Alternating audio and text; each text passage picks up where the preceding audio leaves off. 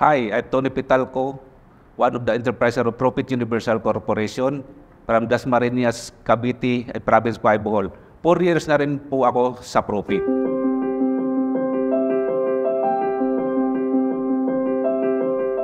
So dati kong trabaho ay isang factory worker. Halos wala nang matitira sa sahod kasi may mga loan, SS loan, pag-ibig loan. Halos pislip na lang po ang natitira. So marami akong pangarap noon magkaroon ng sariling bahay, sasakyan, at savings para sa pangparal sa mga anak ko.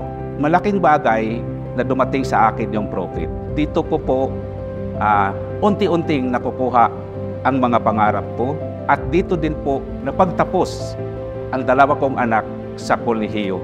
Bago po ako kumita ng milyon, inaral ko muna yung negosyo kasi para po pag may magtanong sa akin, kaya kong ipapaliwanag sa kanila. Isang bagay na hindi ko malilimutan, nung naglakad ako sa SM, nakita ako ng kakilala ko. Ang sabi niya, Oh, ano Tony, mayaman ka na? Hiyang hiya ako noon. Kasi sa daming tao. Kaya lang, sabi ko sa kanya, mayaman na. Oh, nagti-25,000 ako isang linggo. Yun, bigla silang umalis. Pero bandang huli, bumili din siya sa akin ng produkto. Uh, ang nagugustuhan ko sa profit, talagang napakabuting tao yung may-ari. Kaya hindi ako nagdadalawang isip na sumali dito. May pinanggalingan din naman ako na ibang ganitong klaseng negosyo, ibang kumpanya. Kaya lang, walang katulad ang profit. Talang napakaganda yung sistema.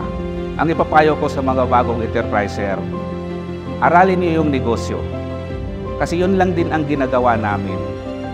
Kung anong nakukuha namin sa profit, makukuha niyo rin. Kasi bakit? Isang company lang tayo, isang sistema, isang produkto.